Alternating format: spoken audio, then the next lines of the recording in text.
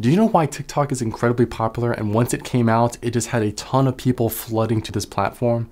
That is because inside TikTok's algorithm, they focus on people's interests. When you're scrolling down your TikTok feed, you're seeing things that you're interested in. And how the algorithm works is that it shows you a ton of different videos when you first get into the platform.